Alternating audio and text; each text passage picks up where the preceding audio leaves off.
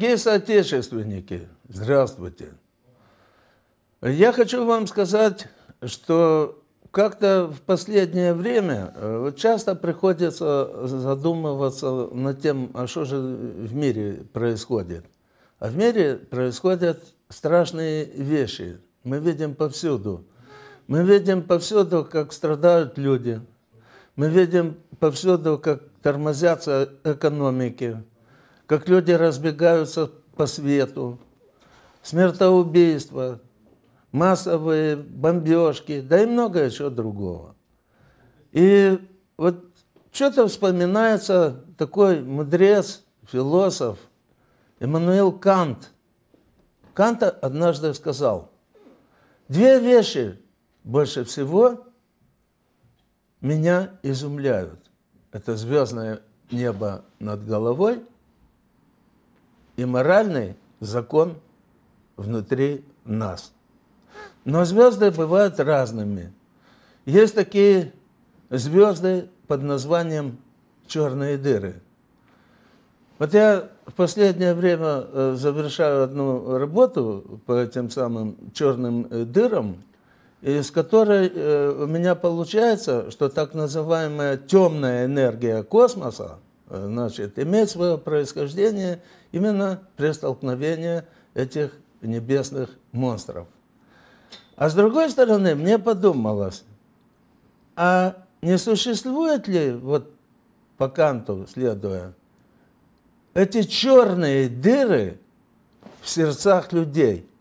Не это ли является объяснением той мерзости, тем смертоубийством и тому горю, которые одни люди приносят другим? Вспоминаются погромы вспоминается Холокост, вспоминаются три народа, которые больше всего пострадали, если брать в процентном отношении во время Второй мировой войны. Я имею в виду цыган, евреев и белорусов. Я учился в Минске, э, часто бывал в окрестностях. Я хорошо знаю, о чем говорю. Каждый четвертый белорус или белоруска – были убиты во время Второй мировой войны. Людей сгоняли в сарае, как скот, с детьми, стариками и поджигали. То же самое происходило с цыганами и евреями. И вот я сегодня пригласил в студию человека, который является одним из представителей вот этих трех наиболее пострадавших при этом геноциде народов, Евгения Брик.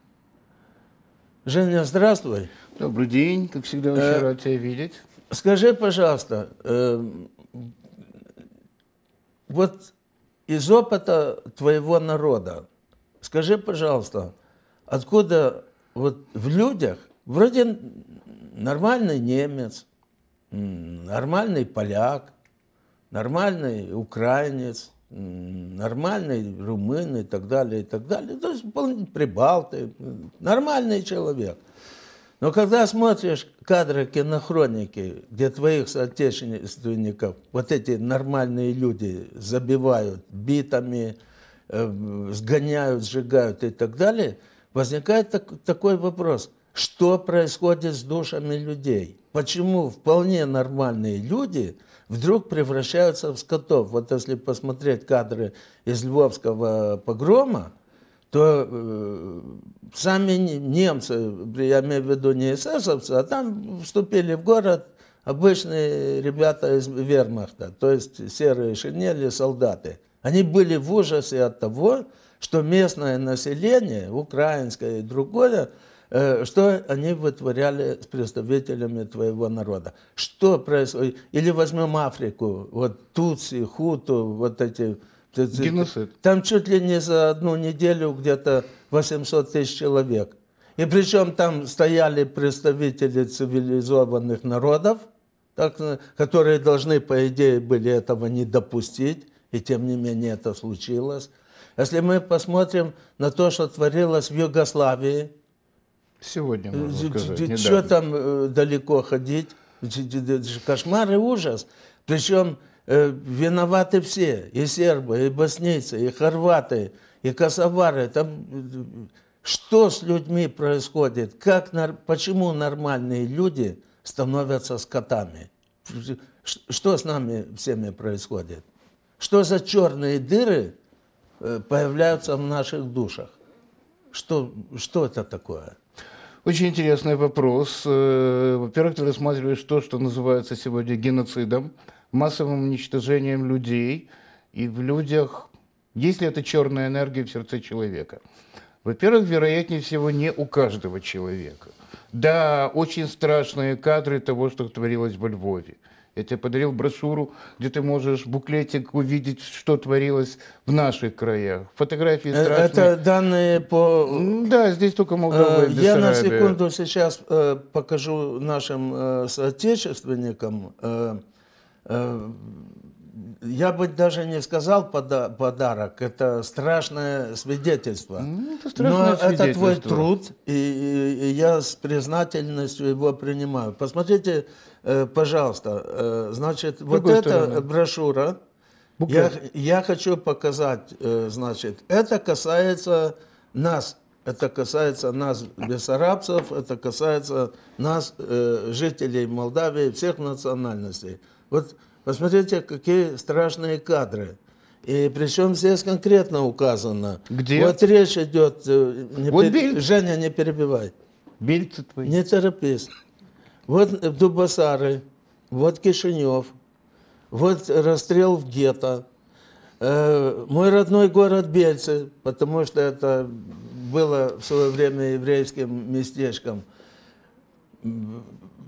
Эти люди, которые расстреливают, и те люди, которые сдали этих евреев, там, выследили и так далее, это же наши соотечественники.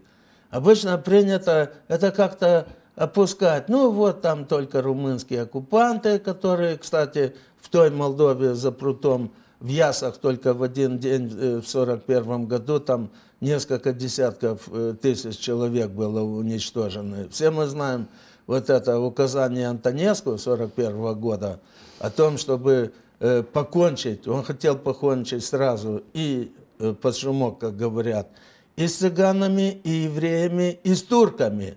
Но так как турки были союзниками Германии, этот вопрос отошел в сторону, но зато и цыганам, и евреям очень досталось. И мы привыкли, что только там.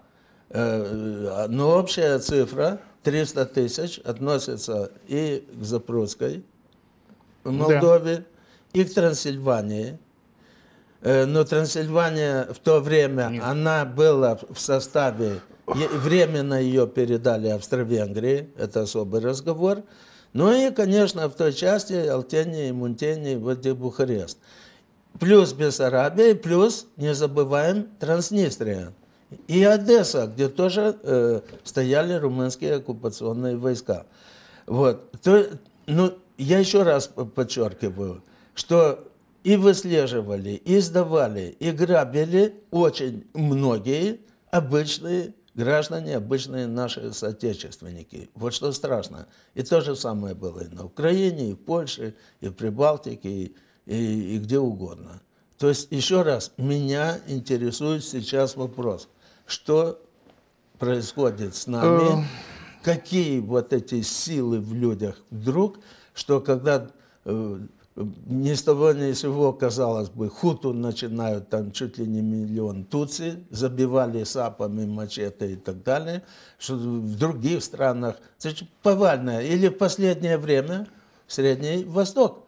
Христиане Среднего Востока, э, значит, вот исламские террористы, экстремисты, там буквально вырезали и друзов, и христиан. И, то есть сам Папа Римский э, попытался защитить этих людей. То есть еще раз повторяю, что с нами со всеми происходит. Что за черные дыры порождают вот эту темную энергию массового истребления себе подобных. А, то есть идет место происходит обесчеловечивание людей. Каким образом? Я понимаю это так. Вот я как бы, как со стороны телезрителя. Я понимаю этот процесс так. Что такое обесчеловечение? А, он не, не человек, он... Да если он не человек, да его можно как скотину и так далее. С другой стороны, автоматом происходит обесчеловечивание того, кто так поступает. Он, это он превращается в нечеловека и в скотину. Вот okay. из опыта твоего народа ты исследовал э, массу документов, ты написал книгу, мы ее показывали. Да. То есть меня интересует не национальный сейчас вопрос, меня Я понял. и не этнический, хотя в истории все конкретно. Меня интересует вообще вот эта проблема обесчеловечивания человека, проблема черной дыры и темной материи. Хорошо, очень интересный вопрос, он очень страшный, но мы его должны знать, и мы должны его понять. Я попробую об этом рассказать. Ведь смотри, в каждое время, во все времена, если мы рассмотрим историю человечества, наступал момент, когда люди находили врагов и уничтожали их. Здесь людей невозможно сравнить с животными, животные так не поступают. И... То есть человек здесь да, более гора... страшен, Он чем более живот. страшный. Он становится страшное... не просто скотиной. Он становится а, а, неуправляемым механизмом смерти, где убийство, издевательство над людьми приносит радость. И очень много таких историй было и, связано. И, кстати, и богатство, грабежи, грабежи. Богатство, грабежи. Грабежи Смотри, за есть... денег тоже. Батенька, Я не отрицаю этот под шумок. факт. Но просто, если мы будем говорить об истории именно человечества, об истории еврейского народа, об истории многих других mm-hmm. народов, то наступал некий момент, когда вдруг люди получали возможность сделать все, что они хотят, и в них просыпалась эта жестокость, и вдруг соседи становились убийцами, и вдруг соседи становились грабителями и прочими. Я очень хотел, я тебя просил, и еще раз обращаюсь к тебе с этой просьбой. Mm-hmm. Институт Иудаики при поддержке Голландского фонда сумел сделать пять маленьких роликов – именно о геноциде, именно о Холокосте. Два ролика, которые... Они есть в Ютубе. Это открытая информация для всех. Они показывают, что происходило в Кишиневе, два ролика. Два ролика рассказывают... Хорошо, назови их тогда, чтобы люди могли посмотреть. Ну, можно, во-первых, зайти, есть э, сайт нашего института. Как он э, Holocaust Адрес MD. какой? Holocaust MD. Я могу написать название. Дайте Holocaust MD. Хорошо. Вот здесь вот это, э, именно это слово там? Да, Holocaust. Holocaust Дорогие соотечественники. Точка MD. Вот после этого страшного слова, Холокост, вот как оно написано, поставьте точку, и поставьте МД. И вы выйдете на этот сайт. Почему я говорю о роликах? Потому что смотри, давай возьмем современную молодежь и современных людей, у которых нет времени читать большую книгу из 200 страниц. И не у всех есть время и даже mm-hmm. терпение посмотреть огромный двухчасовой фильм. И мы решили, чтобы как можно больше людей посмотрели то, что происходило, то, что мы уложили каждый ролик в 10 минут, но рассказать. Два ролика человек смотрит, и он видит трагедию, о которой ты спрашиваешь. Как произошло, что было уничтожено еврейский город Кишинев. Это да. как, внимание, это как произошло, а меня интересует Да, теперь мотивация. берем мотивацию. Теперь вы мотивацию. Что Смотри, движет? ведь люди тоже были разные. Я всегда говорил, был тот, который не стрелял. Были соседи, которые Внимание, выдавали. Остановимся на, на секунду на И были соседи, фразе. которые на секунду, убивали. Да. Остановимся на этой фразе. Ты произнес ключевую фразу. Высоцкий, помнишь? Высоцкий. Но был один, который, был, который не стрелял. Не стрелял. Но был один, который не стрелял. О чем э, говорит Высоцкий? Он говорит, что он обязан, ну, по тексту этой песни, тем, что он остался жив, что нашелся кто-то в расстрельной команде, кто не выстрелил. Так вот, я сразу же хочу спросить, а были ли, то есть мы говорим о фактах, мы говорим о роликах, мы говорим о многом, а были ли люди, которые, вот как тот был один, который не, которые вопреки общей истерии, вот этому общему потоку, который не только оставались людьми, но и которые отказывались принимать участие в этом и тем самым спасали людей. Были те, которые не стреляли, были те, которые спасали, отказывались, насколько отказывались или помогали точечно. Это сложный вопрос. Это быстрее вопрос к психиатру, а не к историку или исследователю. Какой процент людей склонен к садизму? Mm-hmm. Какой процент людей имеет от этого удовольствие? Mm-hmm. И когда выдаются приказы, как давал Адольф Гитлер или Антонеску, убивайте, стреляйте из пулеметов, топите в море, сжигайте – кто-то делает, кто-то нет. И вот фотография родного тебе города Бельцы, человек в белом костюме, которого не расстреляли. И человек, который его спас, я не знаю, как человек, который его спас, относился к другим.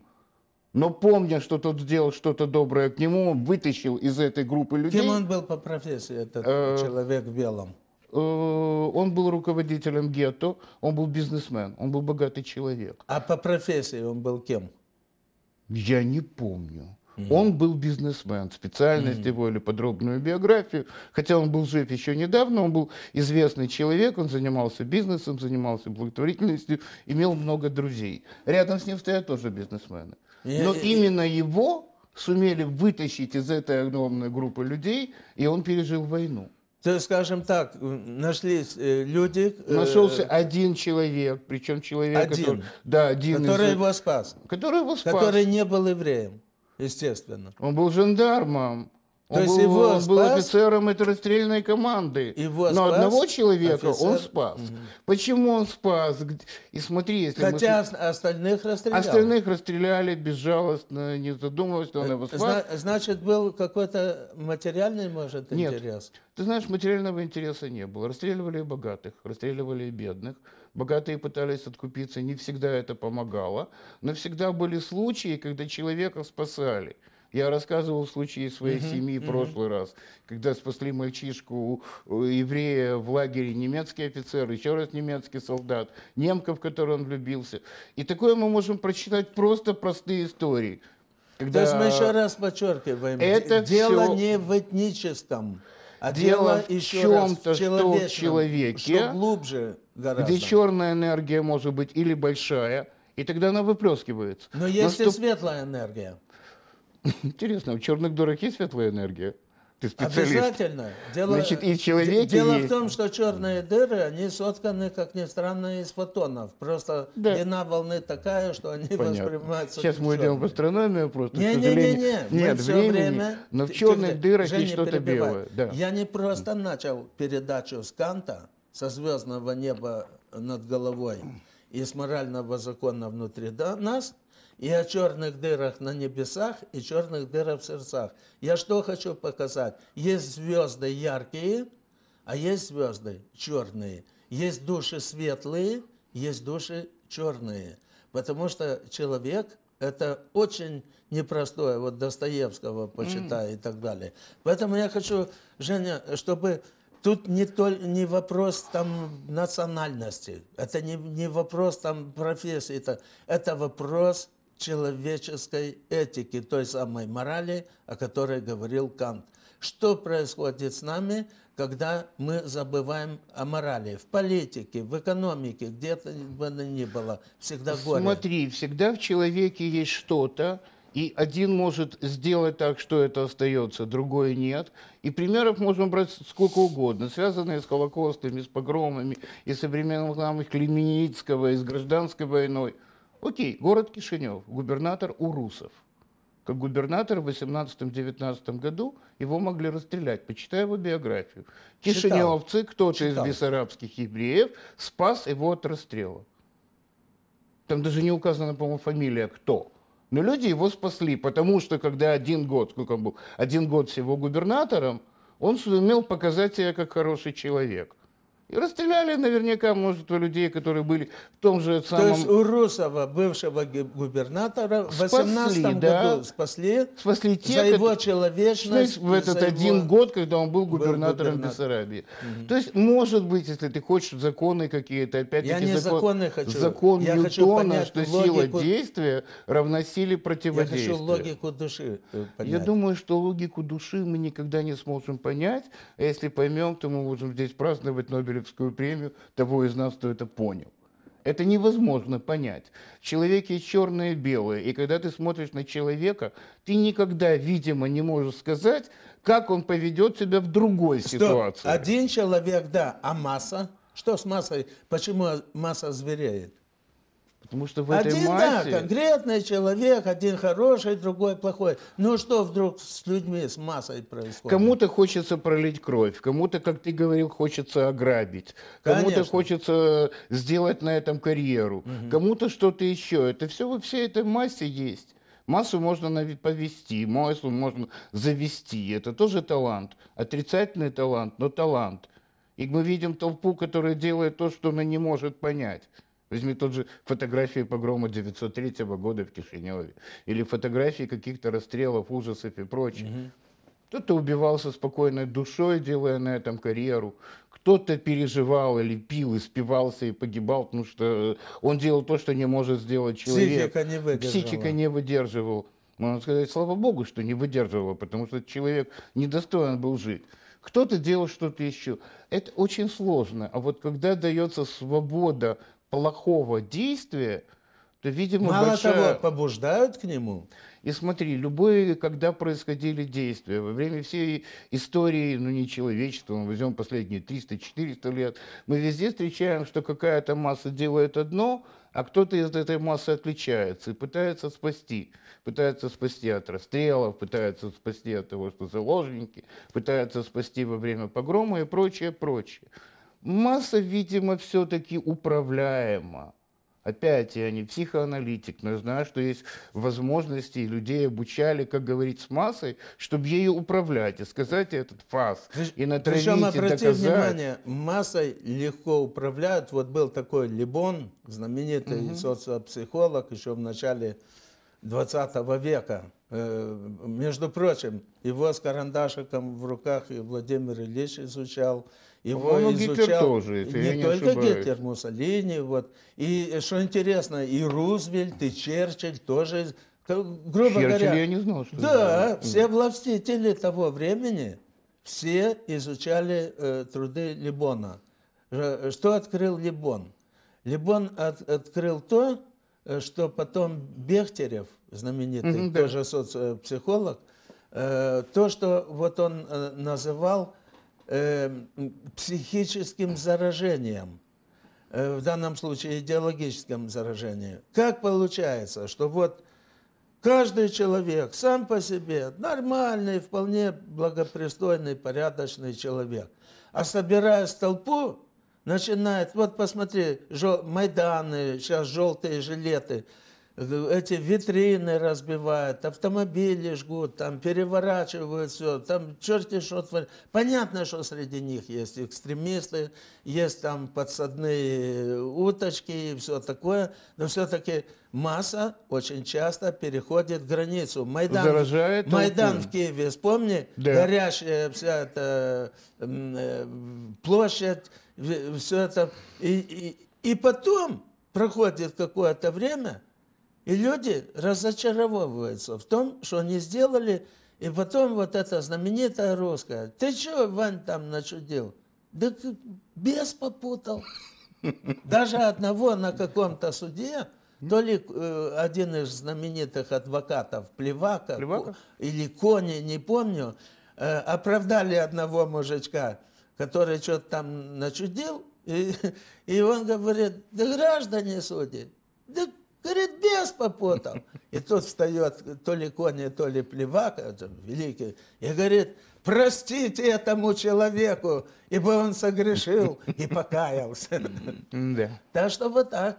То есть, То есть что получается? управляема. происходит, э, э, смотри, э, э, но чтобы толпа была управляемой, это да, у толпы должна быть какая-то идея. Вот что это за идейки, которые Какая подкидывают? идея? Бей, громи, все Не-не-не, твое. тихо, тихо. Женечка, то не все так просто. То смотри, получается, бей, громи – это как бы преступление. А ты за великую идею идешь, понимаешь? Так ты же ж не просто толпа мародеров, убийц и мерзавцев, а мы так мы с благородным идем э, под, под благородную идею. Вот тут мы приходим к самому, на мой взгляд, главному. Берем современных политиков. Чем вот это натравливание друг на друга, э, скажем, русскоязычного населения да, и молдаван? И, или там те, кто себя румынами считают, там, э, э, как они говорят, яко руши, есть дыры мыры. Вот э, о чем это говорит? Это говорит о том, что сначала вот этот народ, которому тяжело, плохо, которому, у которого не самое счастливое время, у которого уезжают родственники за границу, дети и так далее, и вот вдруг в этом массовом недовольстве появляется какой-то мерзавец, а ну-ка давай-ка э, вспомним э, конкретно, один человечек все вот занимался этими вещами, и потом, когда ему сказали Иуда, еще раз, я специально не называю, хотя все понимают, о ком говорит. Вот. И я говорю, ребята, вы его называете Иудой, а ведь он вас натравливал. И он потом довел э, вас и страну, и его родственнички до этого состояния. Но вы три раза за него голосовали. Он вам рассказывал о высоких, красивых идеях, а делал свое грязное дело. Вот тут ответственность политика перед своим народом, перед своим избирателем. Что ты об этом думаешь? Посмотри нацистскую Германию, вспомни, что там было. Тоже появился ну, какой-то... смотри, тихо, Адольф тихо, Гитлер, тихо. да. да слушай. Появился некий человечек, э, которому потом все кричали «Хайль Гитлер», да? И что сказал этот человечек? Все наши проблемы Евреев. очень просто и ясно. Кто виноват? Евреи в том всем, что войну проиграли, что все на свете. Вот тут-то и началось. И вот эта нищая, опозоренная, мучимая масса немцев, добропорядочных во многом людей, нормальных людей, во что превратили их вот эти несколько лет вот этой вот пропаганды. Причем это идеологическая пропаганда. Смотри, каждый политик должен обещать, потому что если Это политик, понятно. да, а если ответственность политик, да, моральная должна быть? Да, конечно. Потому что если человек скажет, что, ребята, ему будет очень сложно, такие сложные 10 лет предстоят, не представляете себе, кто за него проголосует? Никто. Адольф Гитлер показал, что надо обещать. Он обещал всем. Рабочим будет работа, будет Мгм. техника, будет Совершенно верно. крестьянам будет земля, я вам дам землю, дам этих э, рабов, которые придут из славянских стран. Потому что 30-40% славян, которых планировали оставить, их планировали как рабов. Это не я придумал. Называется «Читайте Майнкамп», читайте, как Гитлер разделял, сколько с каждой национальности должно быть. Про Мышлика он тоже говорил, у вас будут миллионы. Все деньги я вам верну с огромными процентами. А бизнесменам А, говорит, я уберу ваших этих еврейских Да, конкурентов. все еврейские конкуренты, да, я вам отдам деньги. И. И опять-таки, еврейский вопрос с Гитлером это была первая часть программы. Так. Потому что жертвами Холокоста успели стать очень многие группы людей, включая миллионы военнопленных. Потому что что произошло с русскими и славянскими военнопленными в 1941 году? Не знали, что с ними делать, их просто убили, как это страшно не звучит, заморили голодом, То есть бо- расстреливали. да. бойцов Красной Армии всех национальностей, невзирая русский, узбек или Ну, в кто, 1941 году просто их- погибло более миллиона Да. военнопленных от голода, от издевательств, от расстрелов. То есть не, Потом они дошло, погибли не от бомбы, не от пули, из, э, они погибли в лагерях. Да. Цифра, насколько я помню, больше миллиона. Потом уже немцы вот тебе поняли, да. Холокост другого сорта. Да, это сказано. Я всегда говорил, Холокост большой буквы – это 6 миллионов уничтоженных евреев. Холокост маленькой буквы – обобщающее понятие, куда входят и миллионы военнопленных, и сотни тысяч цыган, и многие-многие другие категории людей. Это многие религиозные группы, то, другое, третье. То есть это было рассчитано совершенно на другое. И существуют таблицы, которые Жень, не маленький скрываются. да. вопрос. А не заразительна ли эта штука? Ведь бандеровцы на Западной Украине около 100-120 тысяч поляков поубивали, причем жесточайшим образом. Так? Э, Они мы- э, Посмотри, что в Венгрии творилось, в соседней Румынии, да и у нас. И, в- в. Не заразительно ли это? Э, Как Бехтерев говорил. Помнишь зарази- Бехтерев? Да. Во-вторых, Жень, всегда дослушивай, что я говорю. Я математик, и я задаю точные вопросы. Я знаю, Я, я в помню. данном случае не лирик.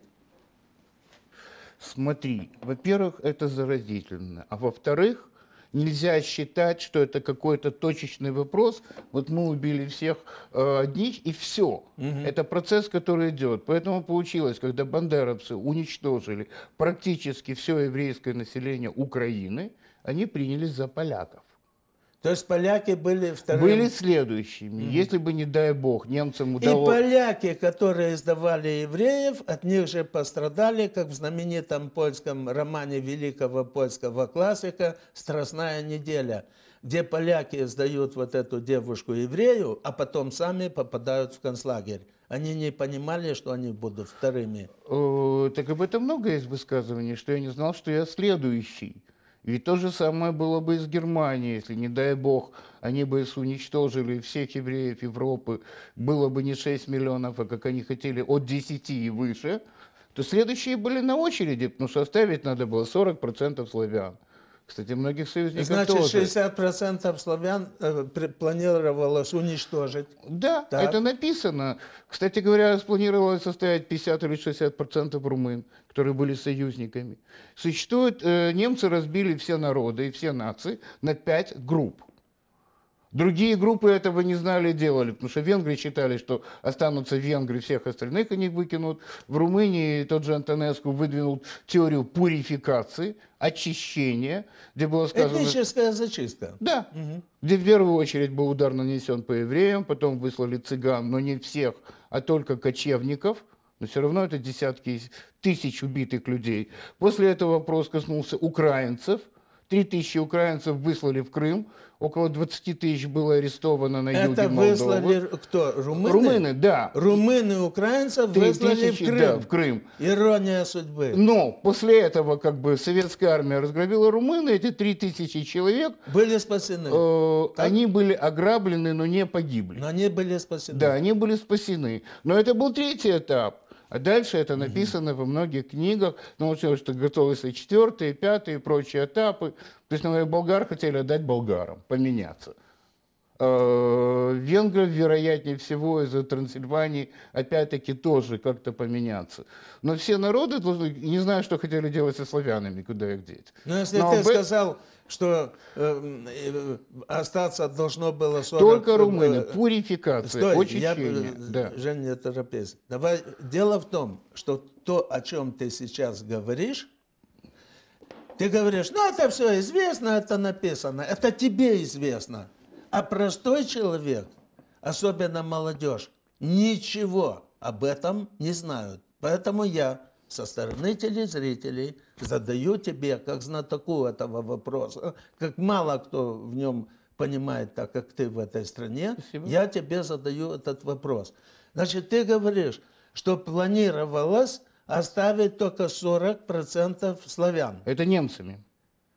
Значит, понятно, не немцами, а фашистами. Потому что это не немцы. не- немецко-фашистской Германии, которая исходила из того, что остаются в живых только арийцы, куда относились Совершенно немцы, э, шведы, датчане, норвежцы, И по-моему, англичане, эстонцы. и англичане еще. Они считали Окей. их за А разве не саксонов. 70% англичан? Я не помню. Не-не-не-не-не. Там каждая нация, у Я была объясню. огромная таблица. Нет, да. Дело в том, что саксонский двор, он же властвует до сих пор э, в Англии. Да. Саксон. Да, саксонцы немцы, Гитлер, точно. э, почему вот с Англией еще так более-менее? Потому что он все-таки считал, что они тоже арийская раса, как и они, и, соответственно, одумаются и как бы примкнут к этому движению. Так еще раз, значит, в программе национал-социализма который сейчас поднимает голову во всей Европе. Посмотри, что творится в Прибалтике, в Германии начинает подниматься, во Франции, в других странах. Вот это движение национал-социализма, оно начинает опять, история Оживать. ничему не научила. Поэтому я хочу, чтобы наши телезрители от тебя получили эту информацию, что ждет людей, которые эту или толерантны к этой идеологии или которые ее берут на вооружение. Значит, еще раз, 40% славян только предполагалось угу. оставить, 60 под нож или да. там вот так. Да, да, дальше еще раз перечисли. Это страшные числа, я хочу, Смотри, чтобы люди их знали. Эти цифры были разбиты на пять расовых групп. В пять расовых групп рассматривалось, где останется около 100%, кого мы перечислили, все славянские народы, 30-40% должно было остаться, и все остальные, те же французы, румыны, венгры, в том числе союзники, на тот момент союзники Германии, их должно было остаться от 50 до 65%. Насколько я помню, литовцев, по-моему, хотели оставить только 50-60%. Вспомни литовские части, которые помогали Германии. Латышей, это 70-80%. Эстонцев почти 100%. То есть это было расписано как бы на то будущее, если фашизм бы, не дай бог, национал-социализм победил бы. То есть идея тысячелетнего рейха планировалась там... на этом? Смотри, я на некоторых лекциях даже рассказывал, не дай бог, представим себе, не дай бог немцы победили, Германия победила были бы огромные, Женя, хоро... были бы раз, хорошие. Мы огром... не говорим о немцах, мы говорим, Хорошо. Женя, внимательно, Третий рейх будь корректен. Бы. Мы говорим о фашистах, мы говорим о национал-социализме. Что он немец, что он бандеровец, что он эстонец, латыш, молдаванин, румын, а русские нацисты Национа... и так далее. Я Еще понял. раз, Национал... мы говорим об идеологии тер, вот этой темной материи, идеологии черных Идеология Она возрождается опять. И Или люди да. об этом не знают. Но есть еще второй этап. Мы просто не говорим о нем, что черная материя наверняка еще начинает потом пожирать сама себя. Потому что в ту секунду, как закончилось бы так, как планировали бы, было бы совершенно другое поведение с бывшими союзниками. Потому что бывшие союзники стали бы опять новыми жертвами.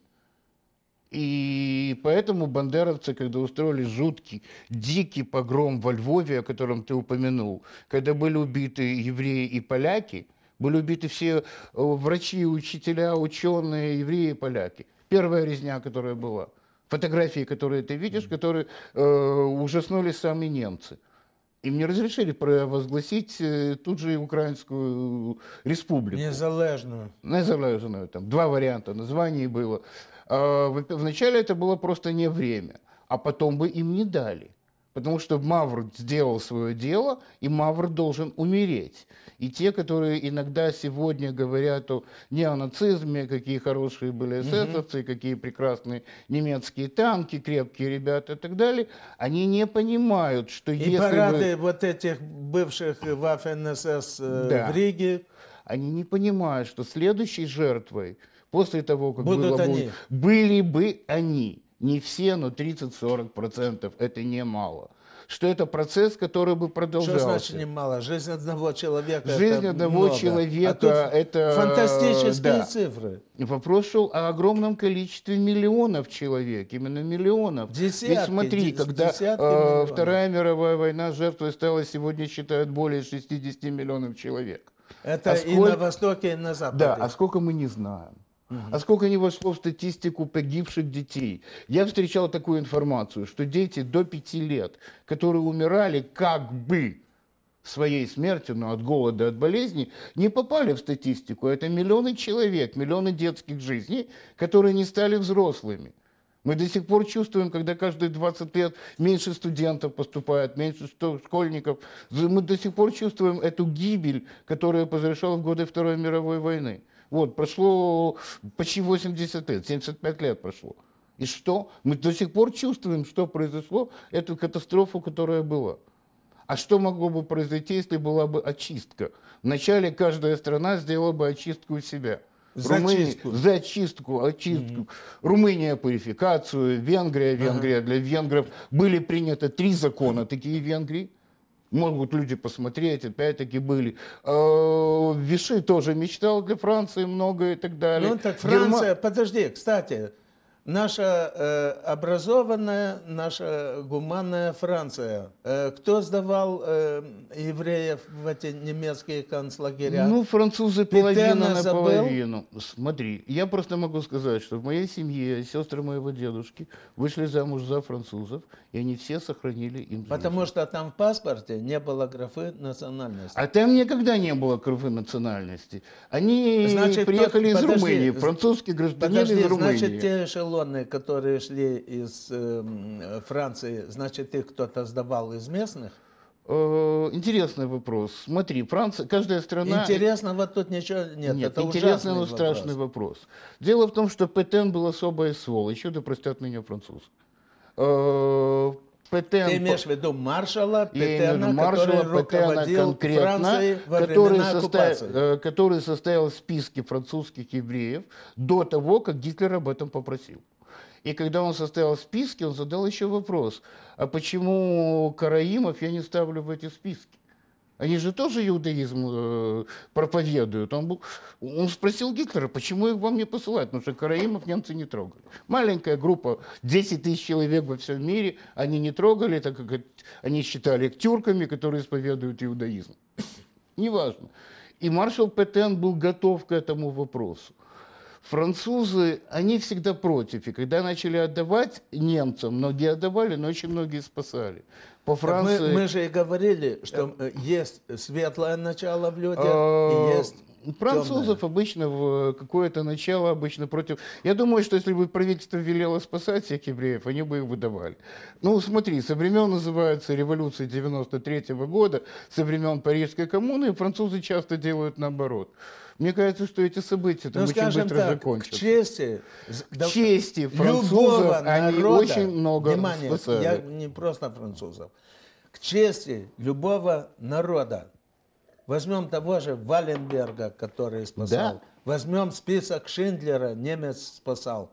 То есть везде, в каждом народе есть ублюдки и мерзавцы, а есть и свои святые, свои э, герои, свои гении. Род... Так, так вот, э, я думаю, что э, мы вынуждены сейчас заканчивать ну, эту передачу. Всегда. Жень, мы с тобой не последний раз. Надеюсь. Так вот, смотри, мы, я хотел бы, чтобы мы ее завершили в таком ключе, что во многом за то, что творится в мире, ответственны идеологи да. и политики. И что любой народ – это не национальная прерогатива, это не расовая, не этническая, никакая. Любой народ, который подпадает под влияние бесчеловечной идеологии, который попадает под влияние вот этих бесчестных и мерзких э, тварей, по-другому их назвать да. нельзя – Значит, любой народ рано или поздно получит по закону бумеранга назад, как говорят, грабли, ты же сам говорил По закону Ньютона сила действия равна силе противодействия. Ну что, на вот этом небесном, на этом небесном э, третьем законе Ньютона мы и закончим, дорогие соотечественники, нашу вот эту очень на мой взгляд, непростую, но не, необычайно важную тему. Антифашист Юлиус Фучек, вот у него есть репортаж с петлей на шее, уходя от нас, говорил, люди, я любил вас, будьте бдительны. Вечно любящий вас Виктор Иванович Борщевич. Thank you.